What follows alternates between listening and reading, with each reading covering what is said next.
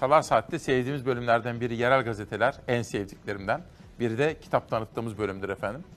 Hayri Yıldırım, Sömürgeci Batı'nın Barbarlık Tarihi isimli kitabıyla Çalar Saat'te.